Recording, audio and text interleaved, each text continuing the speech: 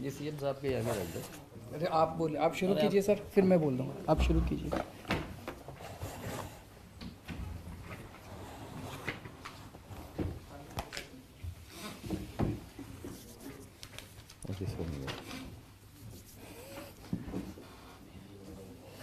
सो corona virus के problem को मद्देनज़र रखते हुए आज हम लोग एक बार फिर मिले हैं यहाँ पे, क्योंकि अब जो आगे आगे कदम उठाने चाहिए, किस तरीके से कि इसका स्प्रेड रोका जा सके स्टेज पे तो हमने मुख्यमंत्री जी ने और मंत्रीगण ने बैठकर और अफसरान ने कुछ डिसीशन लिए हैं जो आपसे शेयर करेंगे। अभी मुख्यमंत्री जी आपको बताएँगे क्या क्या उनकी डिटेल्स हैं और आगे हम हम क्या करने की सोच रहे हैं।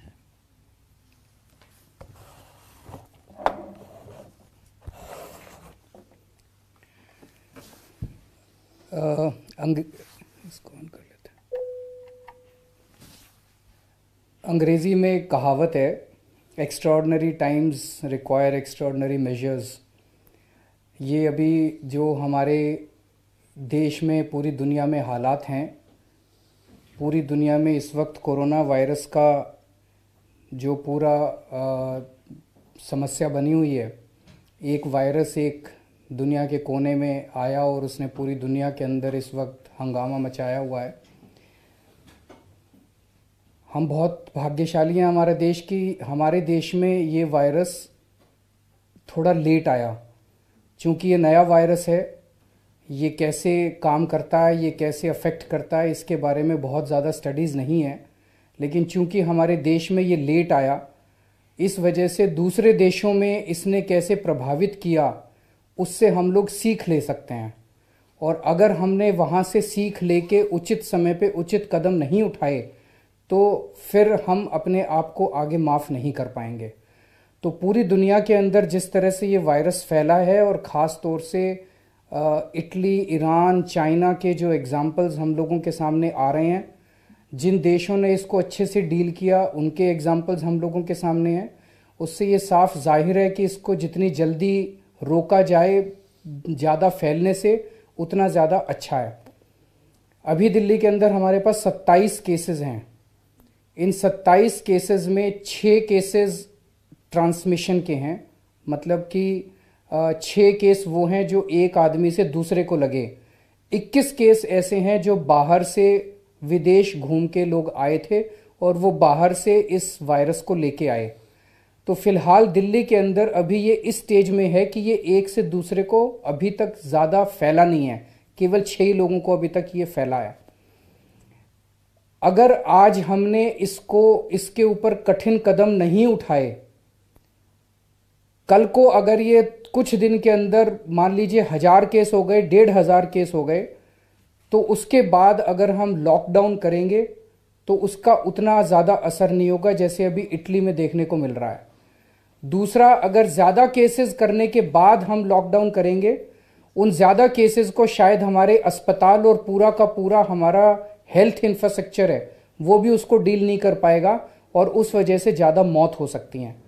इसीलिए आज हम सब लोगों ने मिलके ये तय किया है आप सबकी सेहत के लिए हम सबके हमारी दिल्ली के लिए देश के लिए ये तय किया गया है कि आ, कल सुबह छः बजे से दिल्ली के अंदर लॉकडाउन किया जाए और ये 31 मार्च की रात को 12 बजे तक लॉकडाउन जारी रहेगा।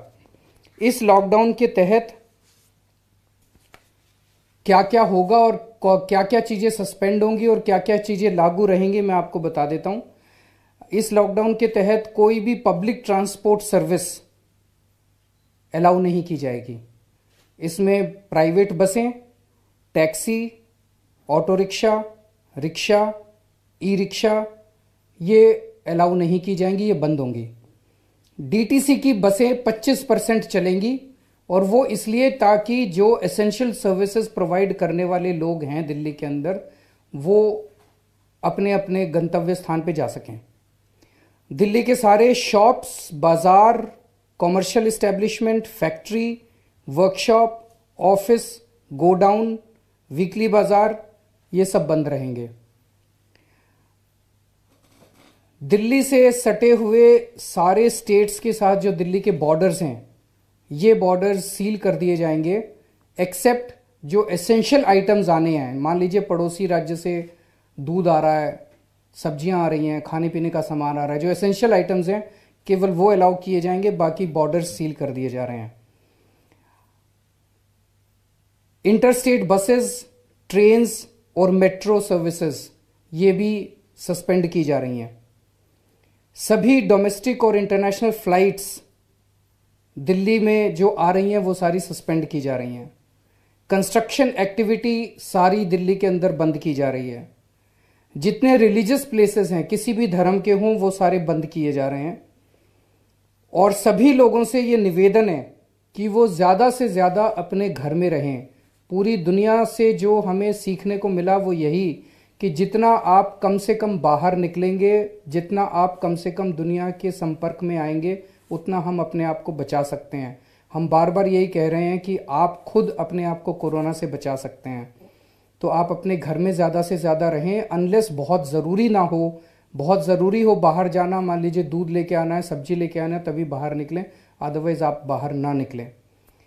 इन रेस्ट्रिक्शन से लॉकडाउन से जनता के हित के लिए निम्न सर्विसेज़ को इससे एग्जेम्प्ट किया जा रहा है।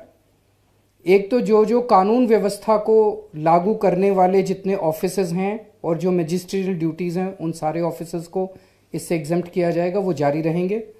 पुलिस का कामकाज जारी रहेगा। सभी अस्पताल और हेल्थ इंफ्रास्ट्रक्चर जारी रहेगा। फायर डिपार्टमेंट जारी रहेगा। प्रिजन डिपार्टमेंट चलता रहेगा।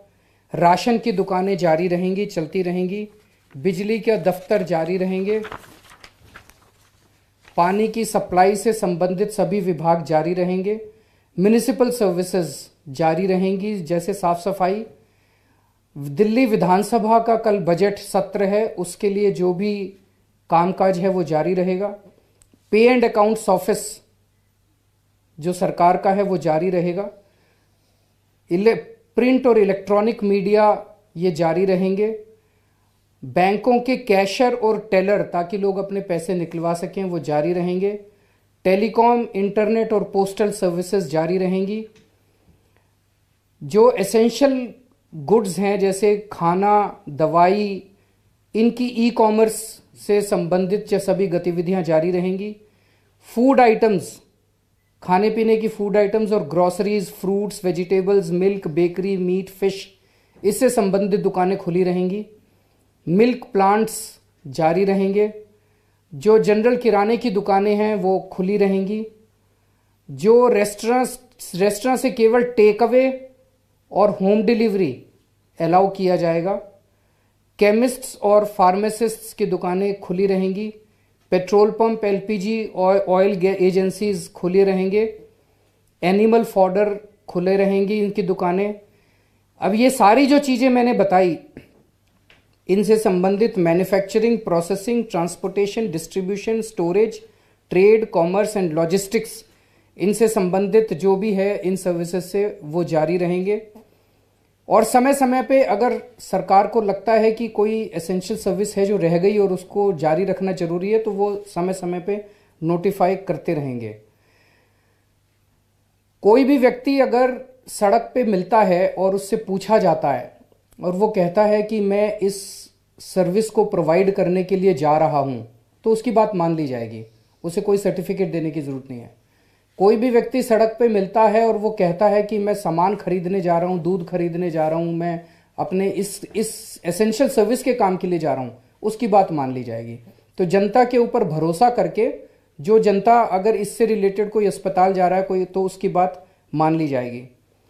पाँच या पाँच से अधिक लोगों को इकट्ठे नहीं होने दिया जाएगा।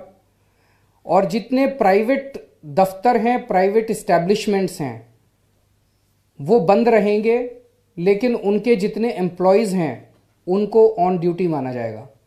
तो सभी प्राइवेट इस्टेब्लिशमेंट्स को अपने अपने कर्मचारियों को इस दौरान जब लॉकडाउन रहेगा उसकी पूरी तनख्वाह देनी होगी। Including permanent and contract Bharat सरकार से चूँकि दिल्ली के अंदर भारत सरकार के भी दफ्तर हैं भारत सरकार से संबंधित जो भी ऑर्डर होंगे वो भारत सरकार अपने अलग से निकालेगी। वो इसके दायरे में नहीं आएँगे। और जो भी कोई व्यक्ति इस ऑर्डर को लागू नहीं करेगा, इसको, इसका उल्लंघन करेगा, उसके खिलाफ कानून के तहत सख्त कार्रवाई की जाएगी। दूसरा, अभी तक काफ़ी ये सुनने में आ रहा है कि मास्क की और सैनिटाइजर्स की काफ़ी ब्लैक हो रही है।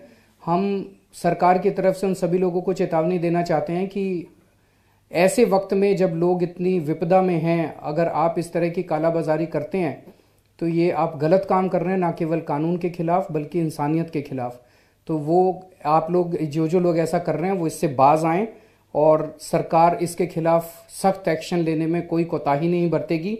अभी तक हम 327 जगह रेड मार चुके हैं और चार सौ सैंतीस लोगों के खिलाफ हम अभी तक मामले दर्ज कर चुके हैं। तो मेरा आप सब लोगों से यही निवेदन है। हम समझ सकते हैं कि इन सब रिस्ट्रिक्शंस की वजह से आपके ऊपर काफ़ी परेशानियाँ सब लोगों को उठानी पड़ेगी। लेकिन अगर इस वक्त हम लोगों ने ये कदम उठा लिया तो हम इसको फैलने से रोक पाएँगे। और अगर हम लोगों ने इस पूरी कार्रवाई से दस लोगों की भी जान बचा ली बीस लोगों की भी जान बचा ली तो मुझे लगता है इट इज़ वर्थ इट